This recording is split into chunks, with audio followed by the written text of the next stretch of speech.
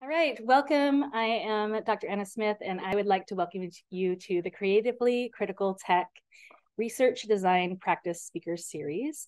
You can see on the screen some of our future speakers in this series.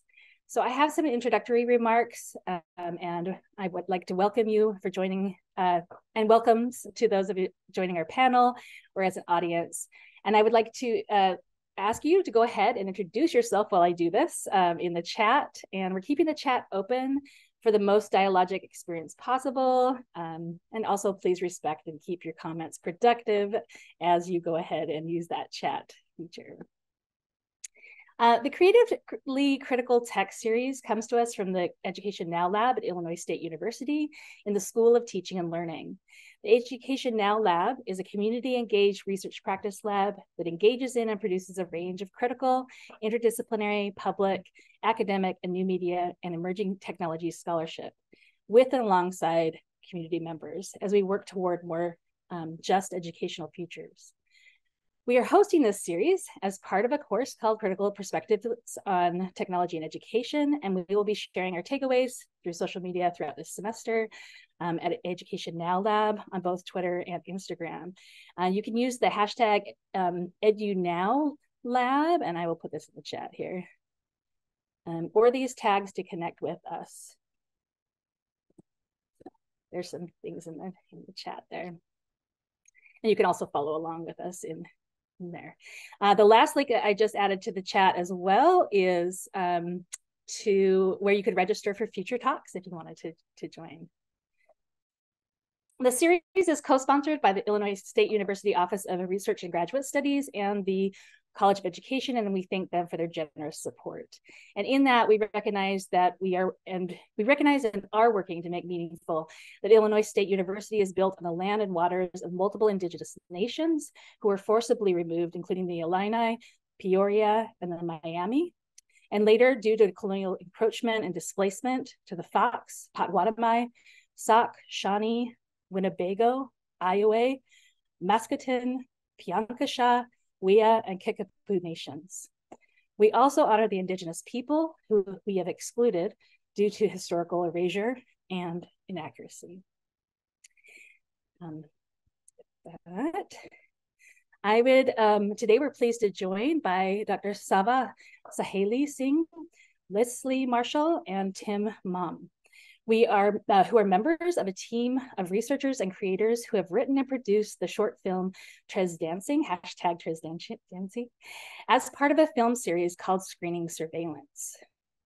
And if you wanted to access that film or Screening Surveillance, here is the address there. Um, Dr. Sava Saheli Singh is assistant professor of digital futures with the Faculty of Education at York University. As an interdisciplinary scholar and filmmaker, Sava brings a feminist abolitionist lens to critically examining the convergence of education, technology, surveillance, speculative futures, and intersectional marginality. Lesley Marshall is a US Canadian intermedia artist currently working on independent AV projects with her company, um, Maven Marshall uh, Audiovisual Network. An award-winning filmmaker with films appearing in 40 festivals national and internationally, music videos by Lesley Marshall have been featured on Rolling Stone, American Songwriter, Vice, Exclaim, to name a few. Lesley Marshall's cinematography and editing of the 2019 Inside Out selected web series Village Legacy Project can be seen on Out TV. Um, Tim Maughan um, is author and journalist using both fiction and nonfiction to explore issues around cities, class, culture, technology, and the future. His work has appeared on the BBC, New Scientist, MIT Technology Review, One Zero, and Vice Motherboard. His debut novel, Infinite Detail, was published by FSG in 2019 and selected by The Guardian as their science fiction and fantasy book of the year and shortlisted for the Locus Magazine Award for Best First Novel. We also want to welcome and thank our ASL interpreter tonight, Kelly Hodbecker. So tonight we'll be discussing the film Tres Dancing and its subject, surveillance technologies, um, in particular in education. as well as the film's creation and the use of film as scholarship and public scholarship. Um, uh, and then to get us started, we thought we would watch the first few minutes of the film, and then we'll begin with questions that our doctoral students have created last night. So warning, we're gonna have some spoilers as we talk tonight. so if you haven't watched the film, I highly recommend when watching the film and the other films in this series.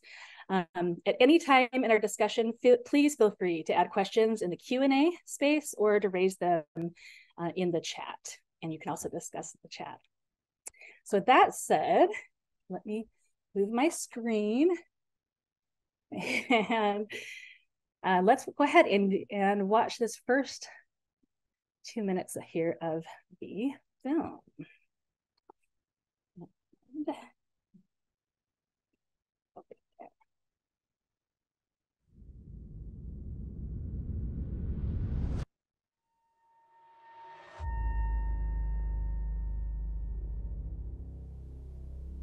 Welcome to Cheat Shield. Please start by looking directly into the camera and stating your full name and date of birth. Francesca Williams, December 7th, 2012. Identity confirmed. Thank you, Francesca. Today, you will be taking Basic Math Literacy Assessment 101. In order to continue, please verbally confirm that you have read Cheat Shield's Code of Conduct and agree to being observed and recorded. Failure to comply may result in automatic disqualification. I, yes, I confirm. Thank you. You have been allocated 45 minutes for this assessment, which will commence now.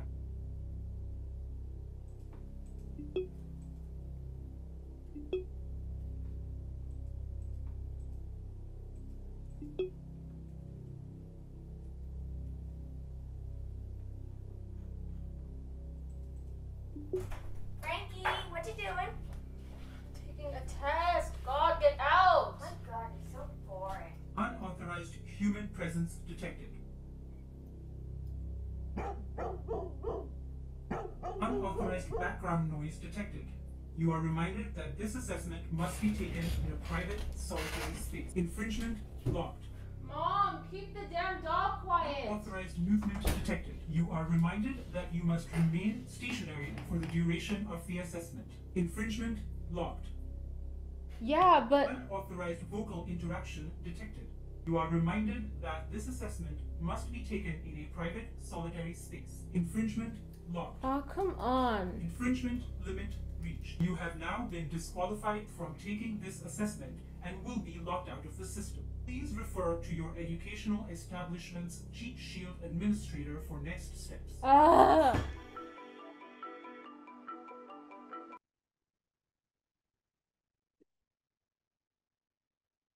All right. So I went back and forth that we should start with that because it was so, so, stressful when, when we watched it last night as a class. Um, uh, you could feel it's palpable. Uh, so maybe to get started, um, let's just start with the larger screening surveillance film series. How did this project come to be? Uh, why surveillance as a subject, film as a medium?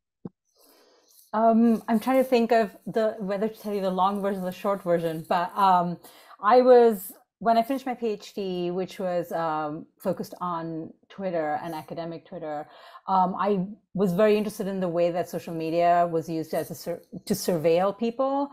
Um, at the time, I was thinking about academics and students and stuff like that. So when I finished that, I was very much interested in surveillance. And uh, Queen's University had a really great group of people um, at the screen, at the Surveillance Studies Center, which sadly um, has been shuttered, which makes me really sad. But um, they have been doing really interesting work around surveillance and the use of technology um, to surveil just everyday people.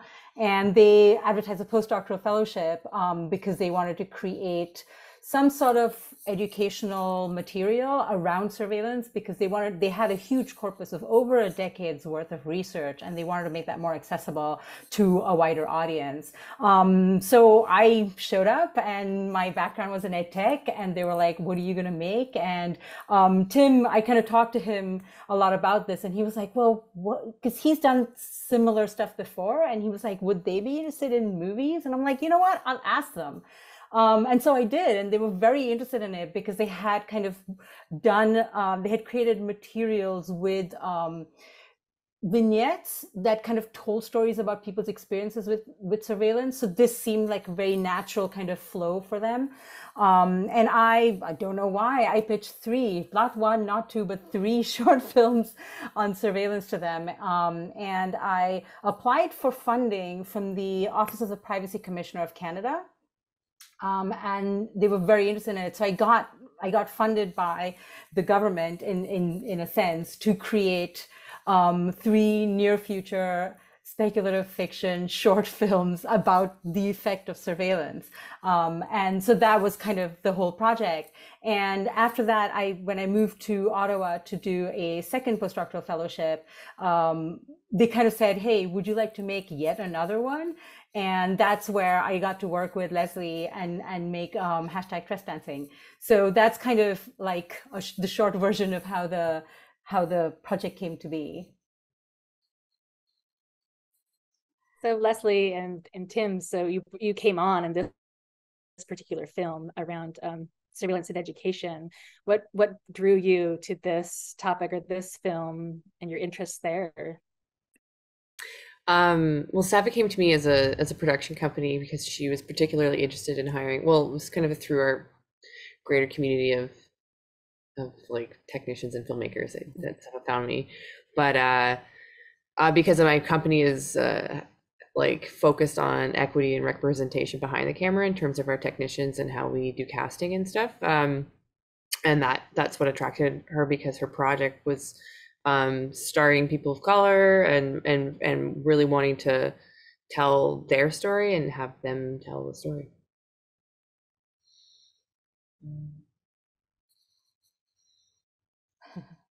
So I didn't really I, I love the project. I, I have a background in communication and media and I love technology and I'm attracted to stories of STEM and um, but uh, it, it was basically um, Sava's uh, ideology and like her commitment to her ethics uh, that kind of brought her to my production company specifically. Yeah, that's great. yeah. Um, so we should, I, I for uh, for uh, openness reasons, we should point out that me and Sava are married. we are, I don't think yes. we'll, I know that. know each other. They knew each other before. yeah, exactly. It's He's sitting, he's nepotism. sitting next door.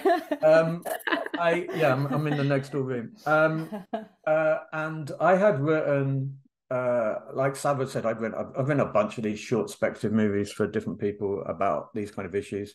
I think I've, I've done like eight or something now.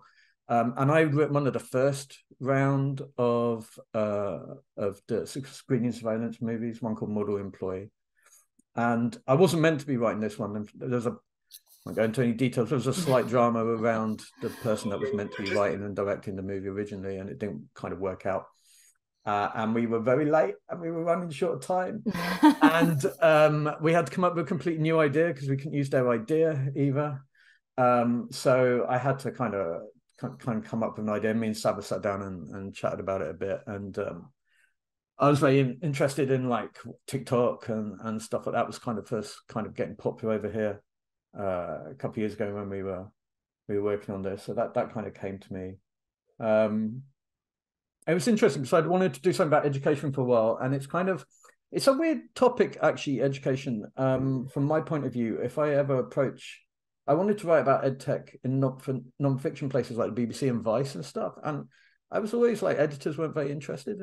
They didn't think it was particularly like a topic that people would be interested in before COVID. And then after COVID, it completely changed. Like edtech was suddenly this massive issue. And, you know, I, I was I was suddenly doing a load of speculative products projects for clients around, you know, everything from uh, uh, cheat surveillance to virtual reality and stuff like that. So um, it was nice. It was nice to be able to work on that. I think having you know, obviously like known Sava's work for for like the last decade. It was it was it felt really good to be kind of doing something that was kind of based around that. I want to add, I think like I, I didn't answer the last question on your many part question, which is like why film? And I think one of the reasons um, we chose to film and then also to do short film is because it's a really great way to communicate certain aspects and certain like storytelling and narrative is a really great way to get people to pay attention to things. Um, and doing something that's like near future near near future fiction which is just like it kind of looks like where we are now but slightly different gets people to really connect with what's going on. So like the films you watch they are kind of futuristic but they also speak to now right? And you like everyone can relate to what's happening in them. Um, and film especially we always have opinions, right? We're always like everyone's arguing on the internet about various things that they're thinking. So film has always been something that gets people talking, thinking, interacting with each other. Um, and to use this to talk especially about technology and about surveillance and about how it kind of pervades our lives and invades our lives, I think it's a very good and, and, and effective way and compelling way to get people to think about these things. And creating a short film is good, right? Because everyone has short attention spans nowadays. So it's like, it's like when I tell people I made a film, they're like, oh, and I'm like, it's it's less than 15 minutes. You'll be able to watch it. And they're like, oh, okay. And then it gets them to watch it more. So I've had that conversation so often. So I think, you know, being able to do that in this way and then making them free for people to use in their classrooms um, that was kind of part of the project right? We wanted to create an educational resource for teachers and for other people who wanted to kind of use this as a way to start talking about the issues that these films represent. Uh, as a class we watched this last night um, and we had the chat going on um, and anyone can chime in if you want from the class. Uh, but we were remarking how palpable it was. So as you're talking about the film and being able to express those all those things and i also we were also talking about the number of threads of different um, aspects of technologies and education. So there was a thread around youth culture right? Tiktok um, trends that way. Um, the intertwining of policing and education was what came through the gamification of learning for corporate gain came through so clearly. Um, and um and in a way that yeah if we were writing one article or if we were writing a you know a letter to the editor or something else i'm not sure you could tie you could thread so many plots if that makes sense or so many discourses together in quite the same way. That's something that stood out to me at least. Not really a question but i i hear you on film um, I haven't tried it myself as a as a medium to um, to tell stories or anything, but uh, but I could feel that in the in the film. Me, it, a film also is such a Yeah. one directional thing too. Like it's you have to sit, you have to watch it. so it's like you have this captivated audience, and it's like if you're trying to tell, deliver a message, it's a nice way to do it. Can't help myself. Yeah, yeah, and it's one that that gathers a lot of our senses too, right? It, well, it's still just it's one. Yeah, it pulls us in multiple parts of us toward um, in one direction. Yeah. So speaking of palpable, so we noted how Frankie was made desperate at multiple times um, as the systems enacted on her, and that was something that we were remarking on. Um, we're wondering about the research around those made vulnerable by such systems, um, uh, and how often we are when we're we're made vulnerable like that, willing to do whatever is necessary regardless of particular risks um, and then people are put in those positions uh, more often than others. So what do so what do we know about the impact of surveillance technologies on populations who are already multiply marginalized? And to what extent are the problems encountered by frankie in this piece um, a function of data surveillance itself or this like mix of societal inequalities systems of discrimination surveillance tech. Um, i guess both thinking about in the in the film and the way you're telling the story here and then also the research that we know that's out there on on that.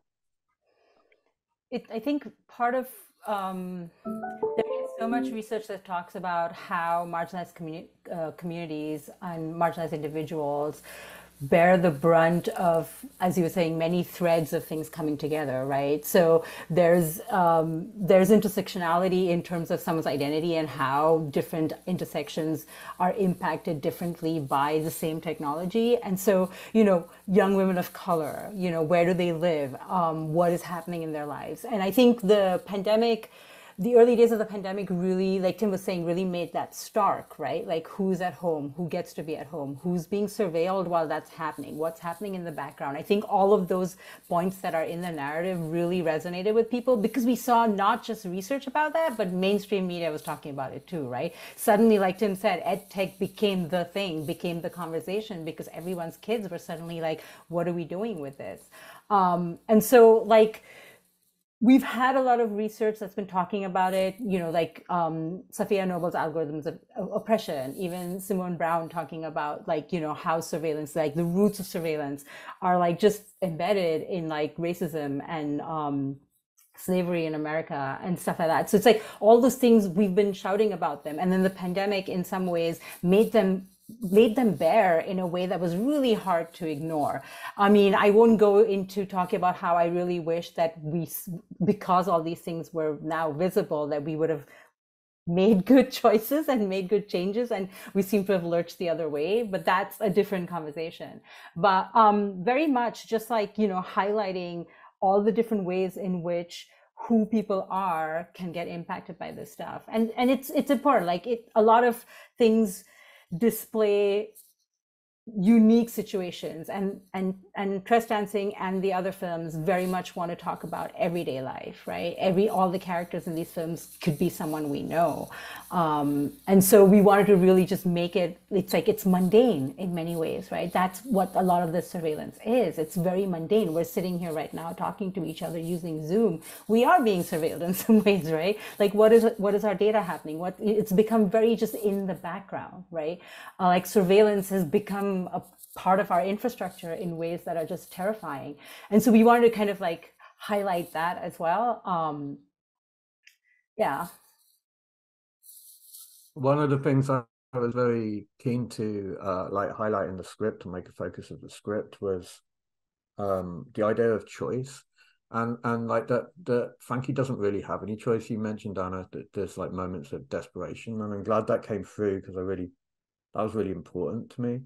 Um, one thing the tech industry really likes to do, and um, particularly it feels like this, the kind of startups that are building some of this software and some of this this ed tech prevent everything as a choice. So there's this this marketplace of choices, and there's this marketplaces marketplace of of ideas or marketplace of of different ways of of solving problems using using technology and know, it's just not really the case, right? You have a you you have a someone has a choice over which systems to use, arguably, um, but it's not students using them, it's not teachers using them, um, but it's still presented to everybody as as as your choice. And and right, you know, right at the beginning of the film, um, right near the beginning of the film, just after the the kind of the the scene you showed, uh, Frankie's given a choice about whether she wants to to use this technology, but the option is for her to reset re- reset a whole year of school. That's a choice, right? and it's not really a choice because no student's really going to want to do that. If there's a, a, a quicker tech fueled out option, then they're going to take that. Um, so that yeah, that was a really important thing. I think I, I kind of I kind of wanted to stress.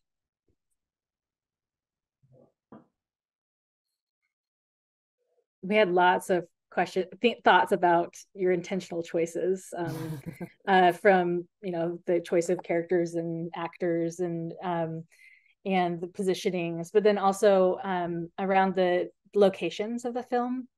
Uh, we noticed this almost um, juxtaposition of indoor outdoor as well. So at the screen um, was talking to school personnel right and most of the activities that when the glasses came off um, uh, were with with friends and it was out outdoors um, we also noticed that there there weren't as many math problems given to Frankie. If you haven't watched the film, you'll have to watch the film outdoors. Um, but there were more more seemed like indoors. Um, so we were wondering about that as a as a choice, the choice of locations um, and place the role of, of it, what the what your thoughts were about and the settings um, within the film. Is that something that you baked in, uh, Tim, when you were writing it, or? Like yes and no. That's making me sound super super smart. Mhm. But, uh, there's a certain element to I did want to like yeah have a difference between uh Frankie and her friends and not wearing glasses and and and the stuff that's happening when she is wearing glasses. Um and I think Hingman, the director, and, and you, Lesley, made a good, good like did that well, just with cinematography. Really, a lot of the time, uh, it feels more claustrophobic when she's got the glasses on, as opposed to when she's she's with her friends or or, or doing other stuff. Um, one of the things uh, I kind of pushed for in the production, we even changed the music at one point to kind of emphasize it. I think was to to make to feel, make it feel quite frantic. So moments of her it being quite calm when she's with her friends, but other times it's quite frantic. And that, again, it comes back to what I was saying earlier that this idea of her lack of choices that she's been pushed into a situation. It's no, it's not a film about her. Well, it's a film about her not having agency, right? And and that's kind of, I think that kind of governed a lot of the choices about how it's made. She doesn't have agency until the end, and then she's given a terrible choice to make at the end. No spoilers, but uh, again, to go back to that film of not, there not being real choices. You know. Um, Mhm. so, uh, yeah, yeah, I, I definitely use the interior exterior thing to make that point because that sounds really cool.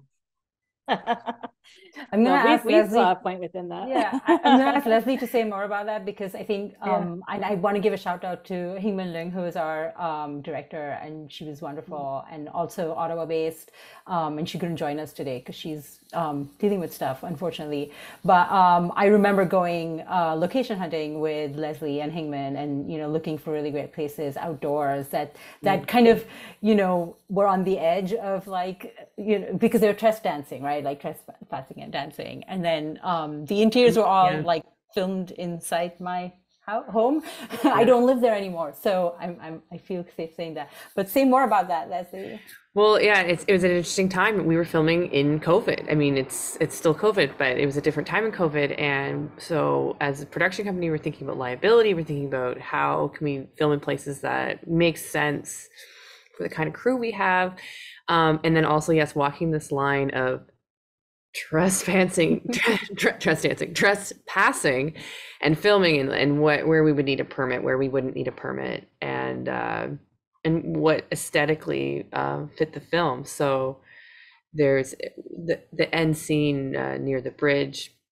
It's kind of a gray area in terms of auto. It's like near public path, but it- is in front of a fence that has a big no trespassing sign and and we did some like coyness of like we had them like touch no trespassing signs we just walked by them um but uh yeah it was uh in, in any making any film project you have to really decide uh you know you want the locations that look aesthetically the best but then practically is, is kind of what you're, you're you are left with. So it was it was a it was tough because we also were working with um, people who were under 18 and so had to go to school and working with their schedules and working with the sunlight and and and so we and how many days we had to film it was it was interesting. It, it's getting to all the locations and filming a lot outside It was also yeah yeah, it was, it was also a tight budget because um, for this one I did not get funding um, from a funding body, but my you know my research um, uh, group at the University of Ottawa they had some funding, and but we only had a very specific budget, right? And so there were only so many locations and so many places that we could go and do stuff. And you know, working in the academy and trying to do that stuff and trying to get money and trying to work and try to pay people fairly is really hard. Like, um, I feel like, you know, everyone worked really, really hard and Lesley really just like stretched it as much as she could. Um, but like, you know, it came together. And I think we'll talk a little bit more, I think later in terms of like collaboration, collaborating outside of the academy and how to like, you know, do some of that. Well, we can jump to that right now because that's what I was Okay. thinking too. So talk about practicalities, Lesley. What what is it like to work with academics? um, because and I'm imagining like producing films, you know, outside, and then academia has its own games it plays. so yeah um, and those reality, like how does that? How did how was that as a filmmaker? Yeah, it was. I mean, filmmaking is a is an interesting like business because so much of the funding for films are are brought together in in multiple ways. So like you'll have some commercial funding, you'll have grant funding, you'll have private investors, and then a lot of filmmakers are passion people and they put their own money to make the make their projects. And so my company, you know, it's you come to me and I and I I'll come I'll try and make your film in whatever way that is possible. And so for this, it was working within the academic institutions and relying on the funding from them. And so um, I guess it's like understanding when um, like payout deadlines are possible because we're also um, a community of artists and also we're like hiring people. So we have to know like when are people going to get paid so that when we're hiring people they know when they're going to get paid and when when uh, some people they can put the work up front and some people cannot. So really trying to communicate that to the academic institutions was is not the most fun experience um, and in the end it, it did go over budget and so we tried to barter in a sense of like what could we get in exchange for um, the overtime that we're putting on this project? Is it like can i get a class in lieu? Can i get a tax receipt? And in the end the university didn't really give us anything else um, and they it, it kind of felt like it was turning into like a red tape situation like no one's really answering an email or no one's responsible to this email. And they you know i feel like they did their best in terms of um, helping with festival funding which was great. Um, we've been able to bring it to a lot of interesting festivals. Um, and sava and you know your institution here like a lot of academic institutions and festivals have been interested in terms of um, the ed tech portion of it. Uh, but yeah it was it's really it was interesting working with uh, institution but honestly looking Sava, it's interesting doing this now because I, I, I work with commercial productions where the money is up front. Usually with commercial productions, it's it's already there. But now I work with a lot of grant funding, and it's it's very similar. It's like you're waiting a long time sometimes for those checks, and and that's difficult um, when you're in an economy that can be so much paycheck to paycheck. Yeah, just it was really I think it's really hard to kind of ride that line between wanting to um it was frustrating for me because I wanted to get people paid, but I wasn't like as a postdoc, I was also not in a position of power within the institution. So it was just me being like, I just email this person, you know, it was a similar thing. And it, it feels frustrating because we all know how much form, how many forms you have to fill in to get a thing done at an institution. So it's, it was a lesson i think in terms of like you know i'm hoping to do more work like this in the future and like how to set up systems where we can pay people in a timely manner or you know do some of that work so that we're not putting the burden on the more precarious people that we're working with right? Mm-hmm. because um, people who work on film are usually freelance actors and actresses you know they're always like going from job to job. And so it's important that they ha- they get paid in a timely manner. And it's hard to ensure that from within the academy. So just a note to those of you who are trying to do this try and figure out ways in which to do that um, if you are in a position of power within the academy? No i think that's that's key and we were thinking um, as a course that thinking about alternative ways to both produce in more participatory ways and then also disseminate um, scholarship uh, that like you said it's it often can be inaccessible um, and um, and the screening surveillance is uh, I, I was glad that you, I hadn't thought of it as an accessibility issue um, when in terms of you know scholarship getting it out there research that is happening. We have you said they had just banks of research on surveillance and let's make it more accessible. Um, so so yeah we were thinking about or we, we're talking in this course and we've been thinking about how is it um, in, in terms of that kind of uh, creative scholarly endeavor um, and, and some of this practicality. So that's very helpful to hear about those realities about the number of things that you have to manage. It's not just creating the narrative right? Creating the film. It's all of the the whole structure around it um, that also has to be created. Um, how do you find the time to do that the um, right? The know how to do that. Like there's a lot more than than what it seems like.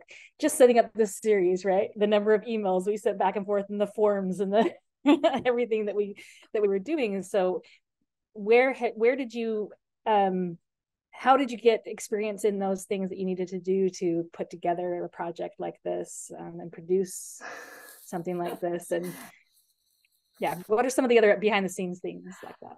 It's it's interesting because i'm i'm now I will call myself a filmmaker, but it's very, it's still very hard for me to do that. Lesley was someone just like, Sava, you're a filmmaker. You've made films.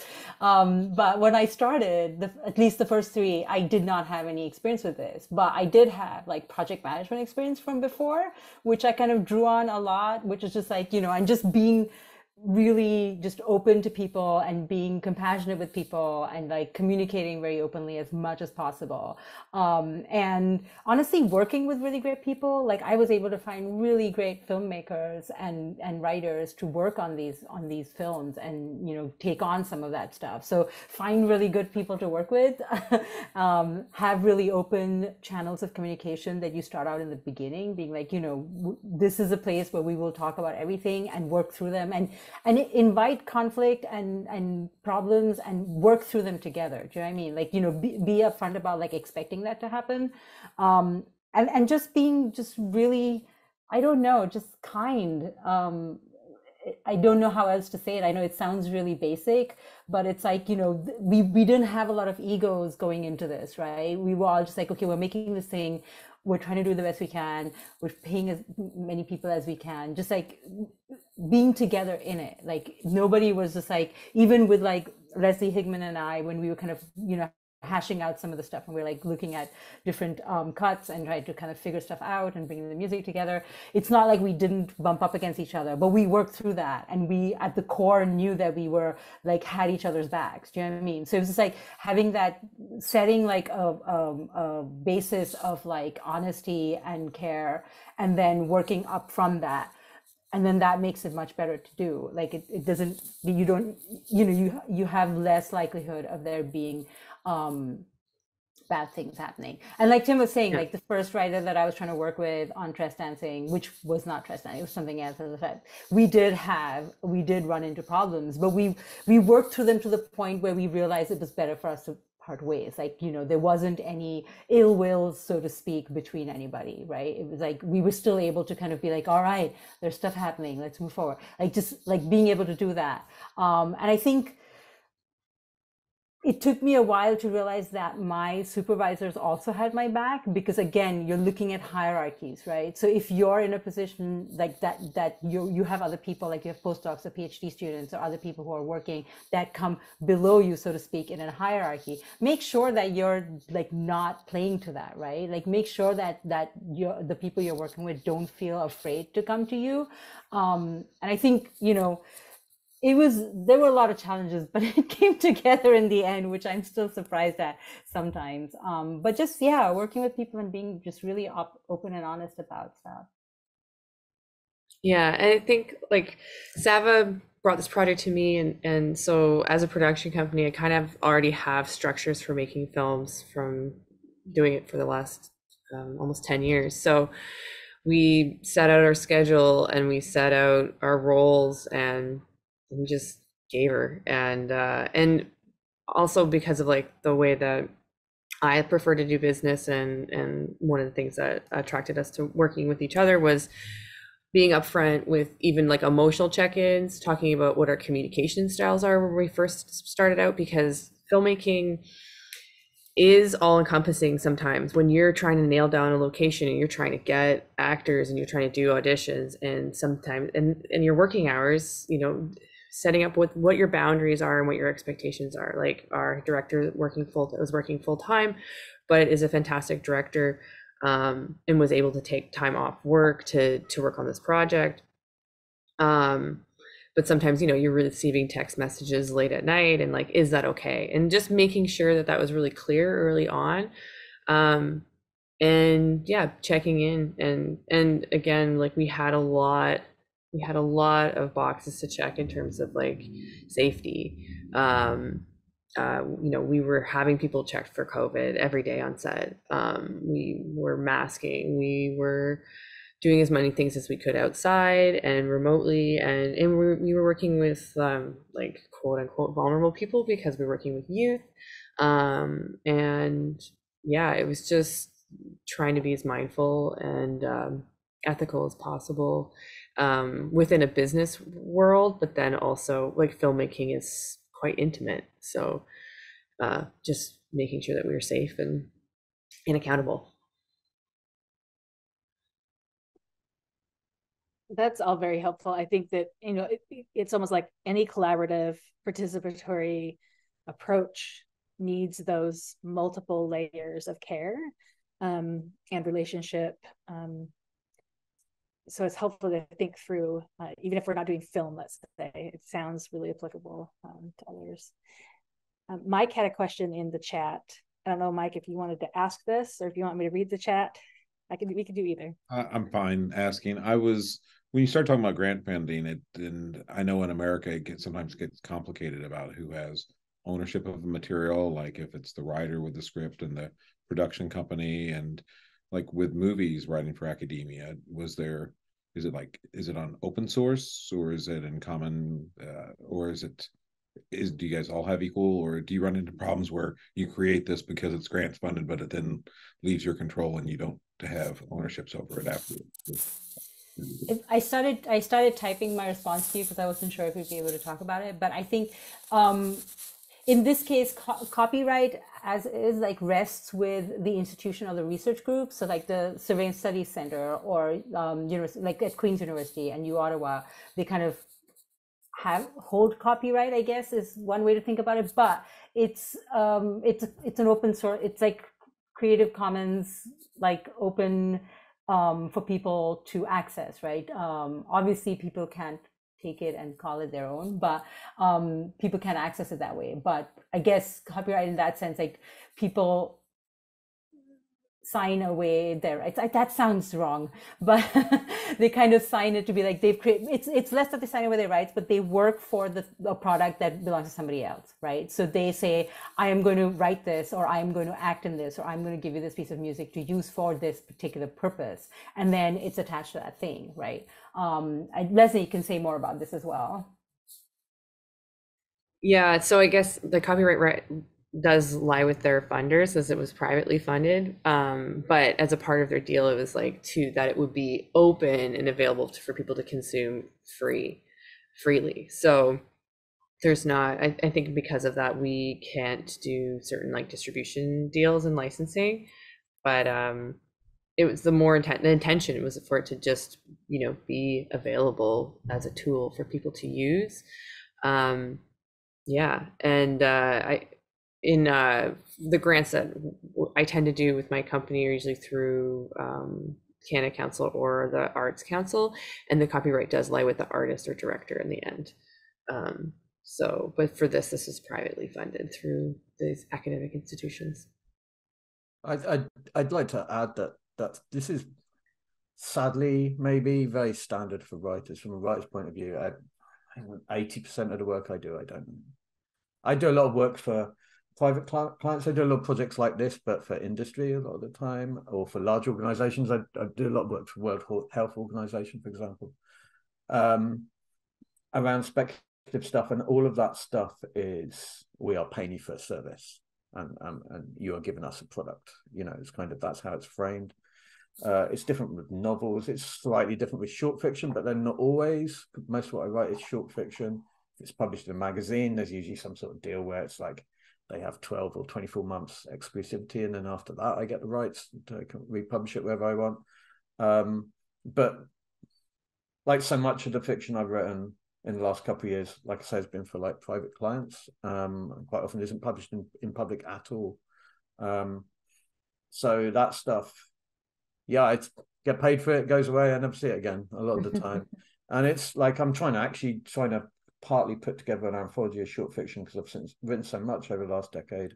It's a it's a it's a it's a nightmare. It's a real headache. It's like just yesterday, I had a a wonderful sounding student in Germany, uh, comp sci student who wanted to uh, reprint something critical that I'd written about supply chain stuff years ago, ten years ago, and she was like, "Can I reprint this in in our student magazine, and I was like, absolutely no problem with me. I've got zero issue with it. But unfortunately, you're going to have to go to BBC and ask them because they own it, right? Do you know what I mean? And it's it's uh, outside of academia, it's uh, it's a big horrible neoliberal nightmare. Let's be honest uh, when it comes to owning owning your work. I would say also within academia, if you write an article, it's the same. You sign away that it's owned by the journal that publishes it. It's not yours. You can use the preprints, that's yours, but the the printed version, right? The published version becomes theirs. The content, I guess, is yours. So it's a very murky separation there. Um, and Ty. Um, I wanted to be able to um, have panelists ask each other questions if you had anything, or um, those in the the chat, or um, we can't we have time for for a few more questions. I don't want to dominate all of our time with our questions, but I'm noticing the time on on the clock, and this conversation is already taking us um, toward the end of our time here. How? I have a good one. It went so fast. to any of there was a, there was a question also that that came up um, about um, this film in in a Canadian context, and we were wondering if, um, in terms of what you know around surveillance, um, data surveillance, if let's say this might play out differently in the EU that has many more privacy um, protections around data tracing. Um, than perhaps say in a Canadian or US context? Or is it similar? I think it's it's a bit of both. Like I, there's um, there's an AI bill that's been knocking around here in Canada that they're trying to kind of um, a bunch of us I think are going to sign a letter saying that it's not good enough because it tends to it tends to defer to industry rather than people, um, and that seems to be the trend across you know the US and Canada certainly and I think the Europe is a little better about holding industry to certain standards but not by much. Like I think you know a lot of companies still have access to our data in ways that are troubling when you start understanding it um, and how they can access it and stuff like that. And I think it gets murkier because for instance if you're if you're researchers and you have to do ethics right and you talk about like where is where are the data centers located where i'm going to be you know saving my data or storing my data. And we have to be careful about it like the, the servers are in canada or whatever because canadian laws protect data in particular ways. But it's hard to do that. Um, and you know in terms of like things especially in education and this is what's like upsetting um, to me in many ways like especially in education the ways that technology gets applied or used or procured is very very problematic because there aren't as many kind of um, regulations around what gets used right? Those those decisions are made at an institutional level um, so for instance, even in universities, right, we use like e-class or Moodle or whatever it is. Like we're not involved in that in that decision-making process, right? There are administrators or there are there are procure people in procure, procurement. That's a difficult word. Um, and there are companies that approach institutions directly, right, and say like, hey, we have this cool new ed tech that you should totally use. You can get all this data about your students by using this thing. And institutions like, yes, this sounds amazing. It's like here, we'll give you a discount, and then you in, implement it. And then the companies are like, all right, so here's all this data we have on your students. Would you like to pay to access this data too?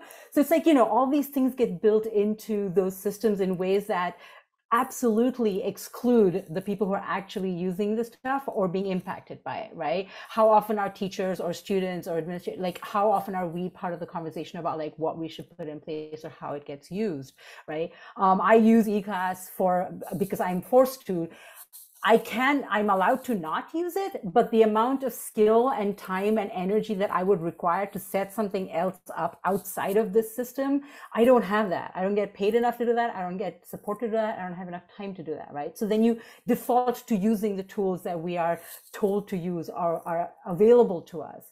And these things allow an incredible incredible amount of surveillance over students like i was shocked at how much I, I, can tell when students are when they get on there, how long, how much time they've spent on there, how many things they've clicked, where all they've been. And i do not look at any of this right? The, the first thing i say to students is like this is what this software allows me to do. This is the extent of surveillance into your life that this thing enables.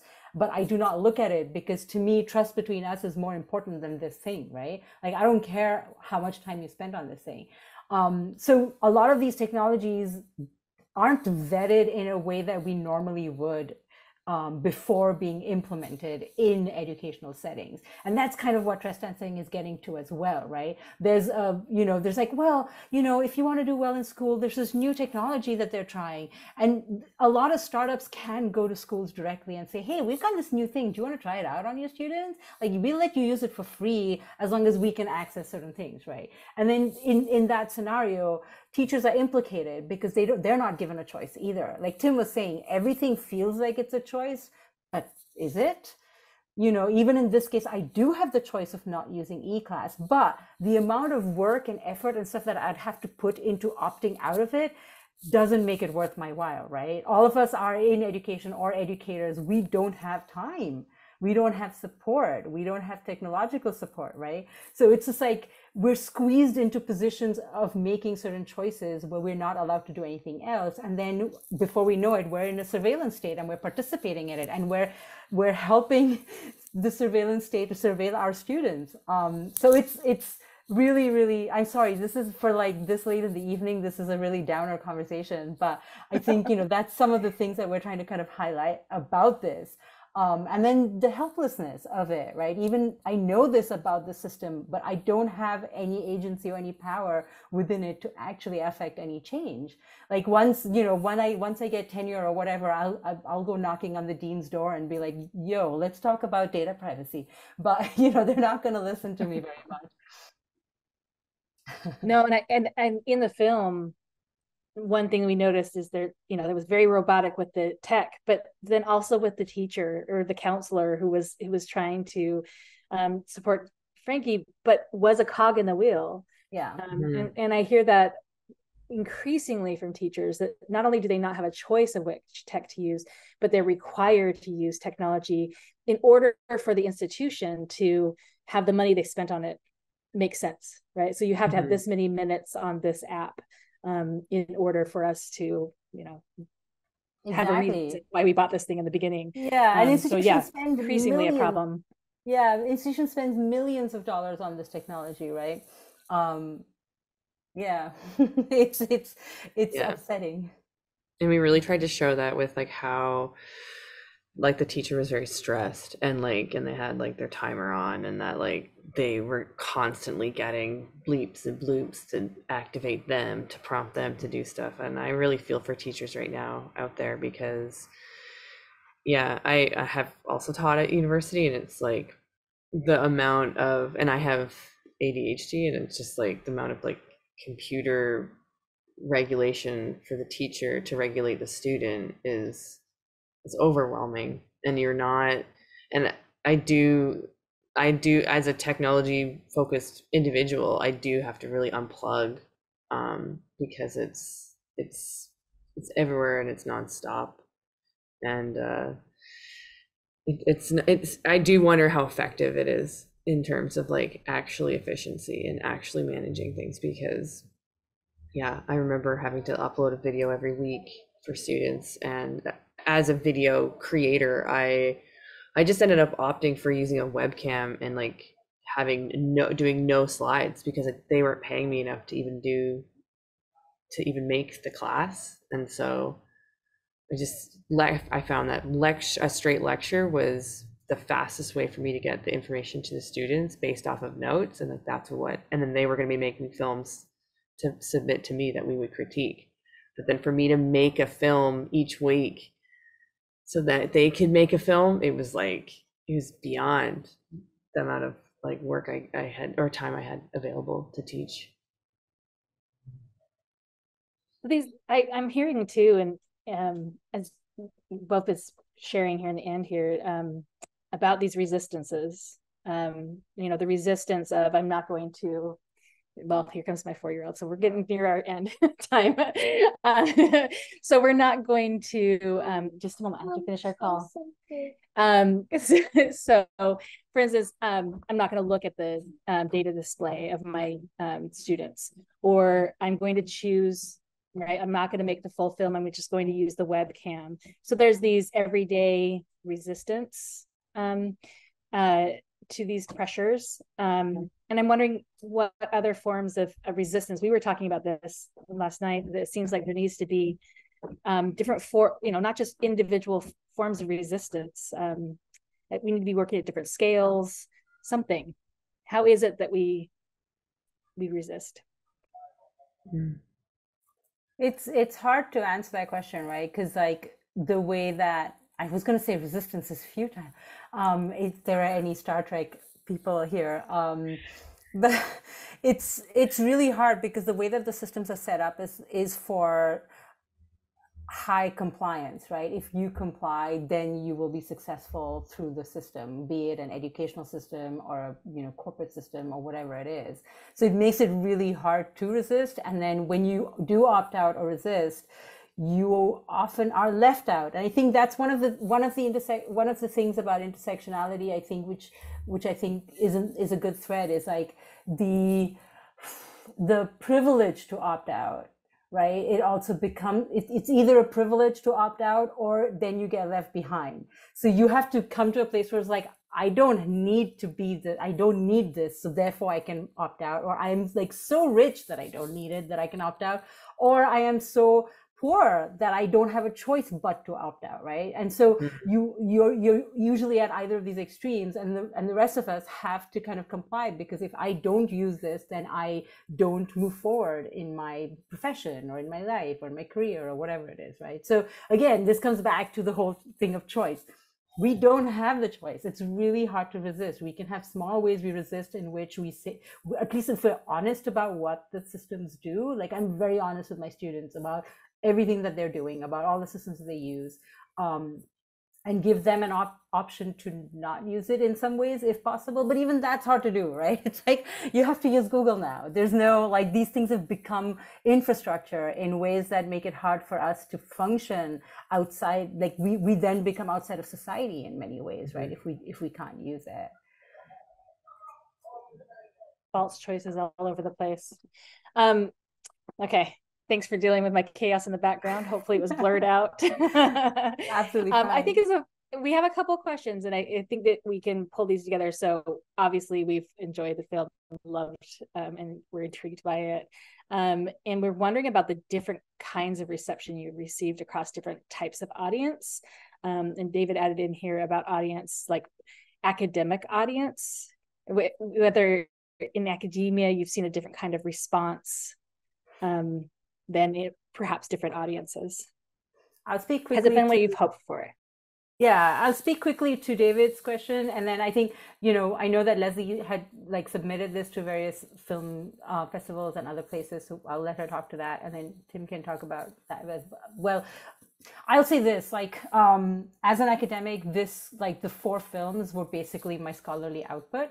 Um, I don't have as many like pubs um, the fact that I, I got a job based on this was was surprising, but also heartening that um, the academy is beginning to see different forms of scholarship as scholarship. Right? It it was hard to sell it as such, but I I had to work hard to be like, look, this stuff is grounded deeply in research and it's doing a thing, and and this is like within critical digital literacy and what this is helping to achieve. So I spend a lot of time explaining it or making it legible to people for whom this is not usually something they can see as scholarly output or scholarship.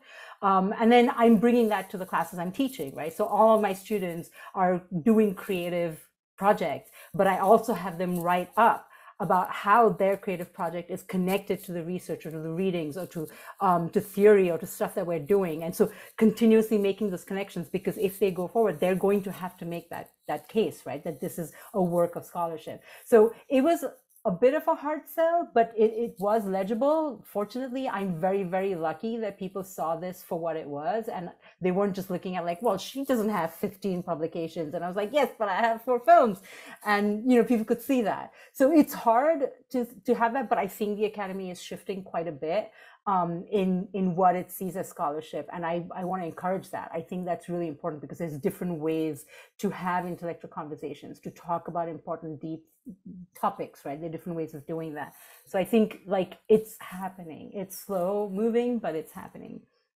Also, like things like this have been amazing. I've shown the films in so many classes and talked to so many students, and it's just been wonderful because it just, I love talking to people about these films. Like, I learned things about the films that I hadn't thought about after talking to students who watched it. So, in that sense, I think it's been very well received, especially as an educational tool. So, and that was what I wanted. So, I'm happy. People are watching it somewhere, learning stuff about surveillance. I'm good.